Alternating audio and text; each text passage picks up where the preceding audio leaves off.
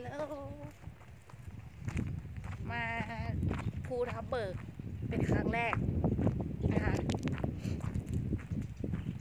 อากาศตอนนี้แบบ เย็นกำลังพอดี คือเราไม่เจอทะเลหมอกว่ะ หรือเป็นเพราะว่าเราออกมาช้าวะ หรือเปล่าจะให้ดู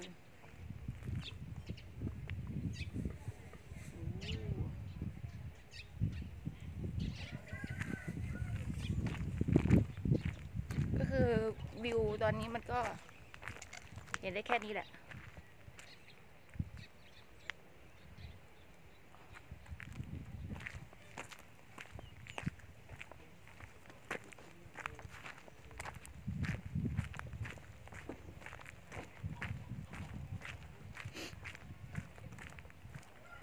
อยากบอกว่า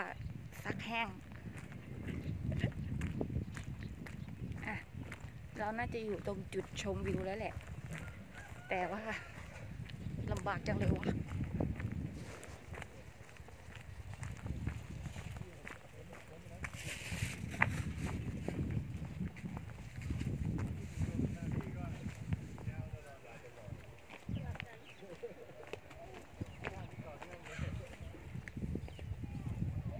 คือมันเห็นได้แค่นี้มันเห็นได้แค่นี้จริงๆ เราไม่ได้อยู่ในจุดชมวิวที่สวยๆไง มันก็ได้แค่นี้แหละทำใจผู้ดับเบิกครั้งแรกแสงแดดยามเช้าตื่น ก่อนเพื่อน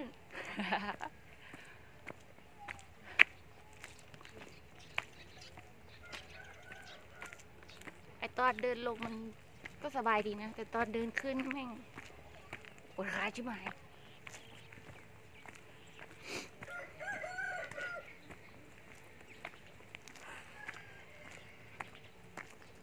ไม่เจอทะเลหมอกเลยเว้ย เราพักอยู่ที่ บ้าน ไม่ใช่ เรียกว่าไร่อะไรไม่รู้ เนี่ยอยู่ตรงเนี้ย